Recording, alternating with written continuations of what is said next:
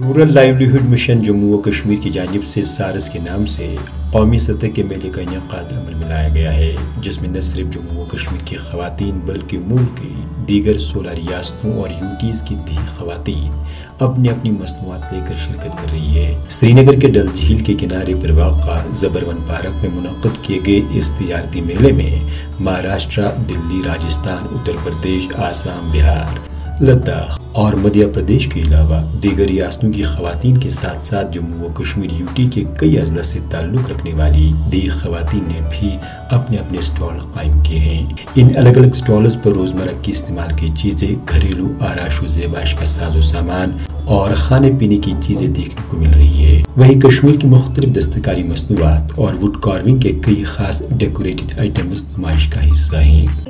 Group में हम बारह महिलाएँ हैं हम मिल के काम करते हैं। जी बहुत ही अहमियत रखते हैं क्योंकि इसमें महिलाएँ जो है अपना उनको और बढ़ावा मिलता है। हमें देख देख के दूसरों को बढ़ावा मिलता है।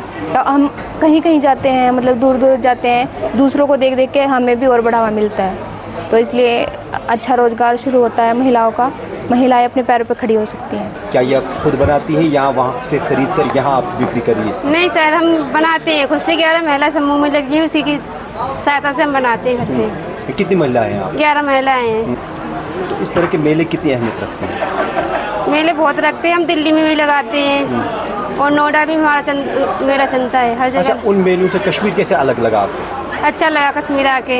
ये माहौल अच्छा लगा कि बिक्री के हिसाब से कश्मीर अच्छा लगा? बिक्री भी अच्छी माहौल भी अच्छा है सब लोग अच्छे से बनते हैं यहाँ पे। हमें उम्मीद नहीं थी इतना अच्छा कश्मीर में लगेगा। अच्छा लगा यहाँ आके मेले में मुख्तलिफ़ पकवानों के स्टॉल भी देखने को मिल रहे हैं, जिसमें कई जायकेदार पकवानों का मज़ा भी लिया जा सकता है। वही यहाँ पर बरेली के आचार और यूपी की खातन की जानब से बनाई गई खास खीर का भी मज़ा लिया जा सकता है।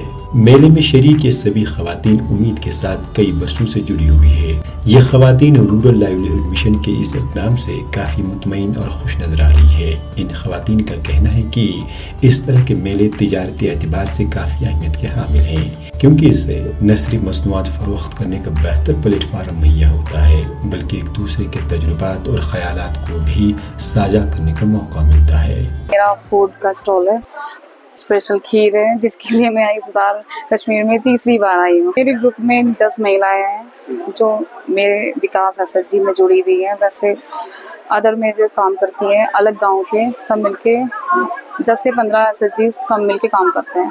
हाँ खास क्या है जो आपको बार बार बुलाया जाता है कि आप खीर ही लेकर कश्मीर आए? ये तो मुझे भी समझ नहीं आया कि यहाँ पे पसंद इतना क्यों है लेकिन सब लोग बोलते हैं कि इसमें जांचू है। ये काफ़ी पसंद किया गया है। मेरी फैमिली को बहुत सपोर्ट मिल रहा है मेरी ज़रिए। मेरे हस्बैंड का एक्सीडेंट हो गया था तो इसमें इस टाइम ये मान लो कि मेरा घर चल रहा है। मुल्क भर की दी खातन सेल्फ हेल्प ग्रुप्स के ज़रिए न सिर्फ़ खुद रोज़गार कमा रही है, बल्कि दूसरों को भी रोज़गार फराहम कर रही है। इस मेले में बड़ी तादाद में लोग भी मुशाह करने के लिए आ रहे हैं। मकामी लोगों के अलावा सैया भी यहाँ आकर अपनी पसंद के मुताबिक चीज़ें खरीदते देखे जा रहे हैं। सब पूरा हेलमेट का हर साल बेम्बो का चीज़ चाहिए। ये जो देख रहे आदमी लगता है कि बेम्बो नहीं है और ये बेम्बो का है और ये टूटने वाला भी नहीं है। देखने से हल्का है बहुत है टूटने वाला नहीं है ऐसा करने से नहीं टूटता है। जम्मू में किया। अच्छा।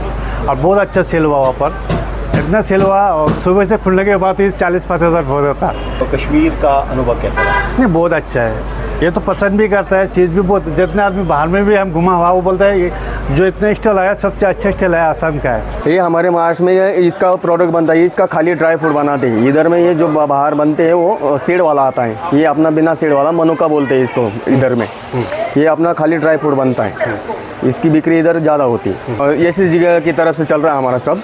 और ये रोज़गार नहीं, अपना हिसाब से चल जाता है। जितना होगा, उतना निकल जाता है इसमें। वाज रहे कौमी सतह का ये मेला रवा माह की तेरह तारीख तक जारी रहेगा। ई टी वी भारत के लिए श्रीनगर से परवेजुद्दीन की खास रिपोर्ट।